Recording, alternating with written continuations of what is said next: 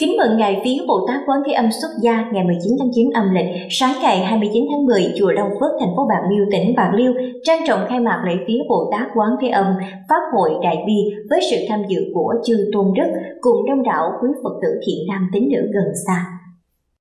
Thượng tọa Thích Giác Nghi trụ trì chùa phát biểu khai mạc nhấn mạnh ý nghĩa vi diệu của hành trì Đại Bi giúp con người trở nên an tịnh hơn trong cuộc sống, dần đạt được giác ngộ, trí tuệ và giải thoát qua đó hồi hướng công đức cho cha mẹ hiện tiền, cầu siêu cho hương linh ông bà cha mẹ quá vãng được sanh về cõi Phật. Thượng tọa tán thán công đức chư tôn đức chuẩn bị lễ vía trang nghiêm và khuyến tấn quý Phật tử tinh tấn tu tập, dành trọn tâm thành hướng về Bồ Tát Quán Thế Âm. Chương trình lễ vía và pháp hội đại bi trong hai ngày 15 và 16 tháng 9 âm lịch, với các thời khóa hành trì đại bi, đảnh lễ ngũ bách danh, các thời pháp thoại về hành nguyện Bồ Tát Quán Thế Âm, công năng hành trì đại bi do chư vị giảng sư khoan hỷ trở về thuyết giảng. Và đặc biệt chương trình hoa đăng vào lúc 18 giờ 30 phút chiều tối ngày 16 tháng 9